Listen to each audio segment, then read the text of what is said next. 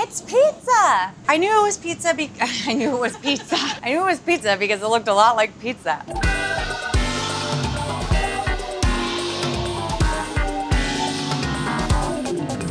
Today we are making barbecue mushroom pizza. If you, like me, are a child of suburbia and you have deep, beautiful, fond memories of California Pizza Kitchen, you are aware of the barbecue chicken pizza. It is a perfect food. And this is a version that is vegetarian. It is one of the fastest ways that you can get pizza on the table at home. First things first is we're gonna prep our dough. It has to bake for about five minutes all by itself before you load it up with toppings so that it doesn't get soggy. You gotta oil your pan a little bit. I'm just gonna use my hands to rub it around the bottom and then a little bit up the sides. Getting a little bit of oil on my hands is a good thing because it's gonna help me work with the dough. A lot of grocery stores will sell you fresh dough like this, or you can go to your local pizza place and they will often sell you dough in a container like this or a bag with some oil at the base.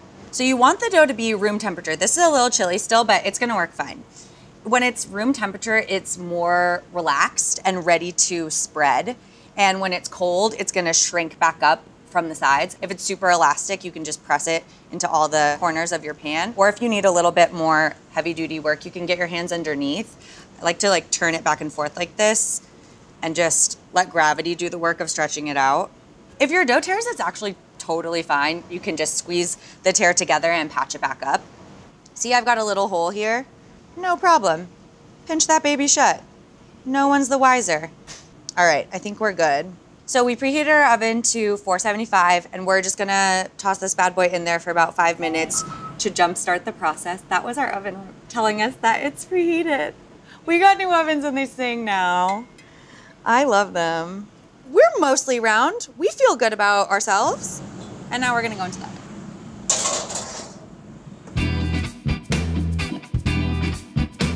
So the crust is in the oven about five minutes. I'm de-oiling my hands and now we can prep all of our toppings.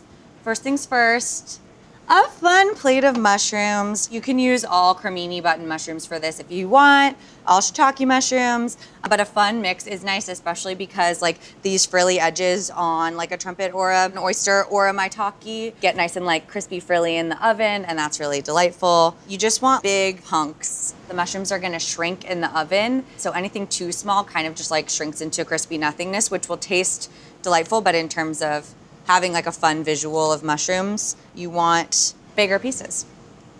So we are tearing our shrooms up and then we're gonna dress them with a little bit of olive oil. And that's just gonna help us when we load them onto the pizza. It's gonna help promote browning the same way that you would drizzle vegetables with olive oil before you roast them on a sheet pan. We're doing the same thing. Mushrooms in general are quite meaty and they make a really great meat substitute. I think that's why mushrooms make such a great pizza topping in general.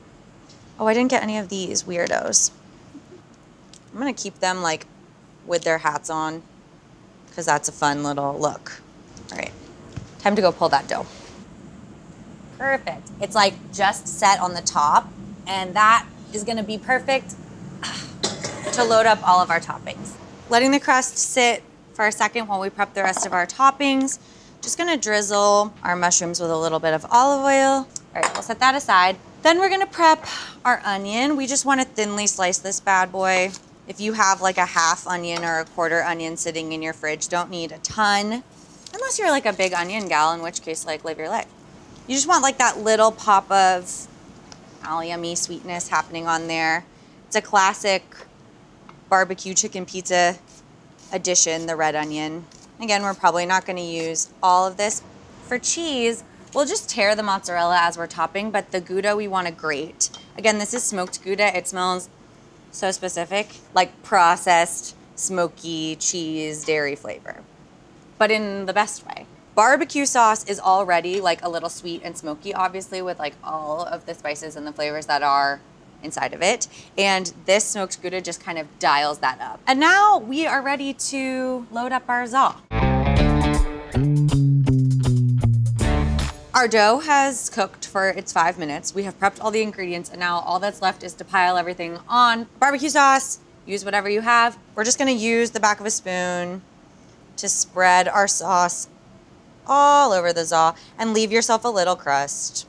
Or don't. That's the thing about this is like you can just sauce it all the way to the very edge because part of what's fun about a pan pizza is it kind of doesn't need there to be like a distinctive crust. So I'm gonna get pretty close to edges here.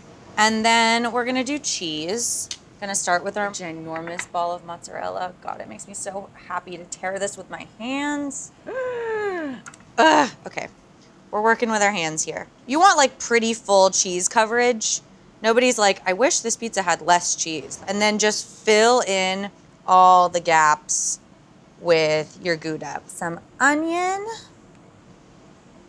I'm gonna go pretty heavy on the onion. I think it provides a really nice contrast of flavor with all the like richness going on here with our cheese. And then shroom time. I'm gonna get pretty heavy duty. Again, they shrink in the oven, so you don't have to be scared about full seaming coverage of mushrooms. We're gonna make this one look like it's growing out of the pizza. Perfect. So we're gonna use all of that. Poke some onion through so we make sure we get a little bit of everybody in every bite. And then I'm also gonna just take a tiny bit of cheese on top. Everything needs to be seasoned with a little bit of salt and a little bit of pepper. It's fully loaded. We're gonna bake this bad boy for 16 to 20 minutes and then we're gonna broil it so that the top gets super crispy. In we go. It's looking really nice. Crisping around the edges. You can see the mushrooms are starting to crisp, the cheese is bubbling. We are just gonna turn on the broiler now. Make sure it's in the center underneath the heating element so it gets the full strength of that power.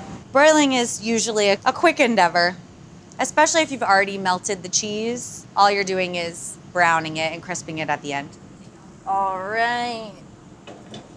This mushroom portions are super crispy. We've got this bubbly, juicy, cheesy bit. We're nice and brown around the edges. I think it looks great. So we're just gonna finish it off with a little bit more barbecue sauce. We just put a little bit of barbecue sauce in a bag, and then we're gonna nip off the end, make it look cute, make it look like they do it at CPK. And then we're gonna finish with some cilantro over the top for freshness. Not being shy with the cilantro is a good move here because everything else is rich, smoky and cheesy and melty. So something green, something bright and fresh is a nice thing to include. And then I'm gonna do a sprinkling of red pepper flakes on at the end. I am a big like sprinkle red pepper flakes over your slice type of gal. And there you have it, barbecue mushroom pizza. I'm gonna use a fish spatula to help me loosen all the cheesy bits. And then we're just gonna slide. Woo! Hell yeah! Look at these crispy edges. I'm just gonna slice it all up, you know, why not? Get ready for a party. Oh yeah. It smells like barbecue sauce. It smells really smoky and a little sweet, which is really nice. See, do you wanna come eat some pizza? What a day to be alive. There's some fun little crispy bits on the edges. Mm. Mm. Oh my god. Mm. Mm. That is delicious. The barbecue sauce plus the mushrooms is like very meaty. Yeah. Like it feels very substantial. Mhm. And I like also like the like the base is very well cooked too. The red onion, the oozy cheese, it's perfect. Oh, good. I'm taking this with me. You can. Have a nice day. Okay, have a nice day. Yum. This is a great pizza to make if you want dinner on the table quick, but you also want it to feel substantial and without any of the effort that comes with cooking meat for dinner. I think this is absolutely your move. Pizza party success.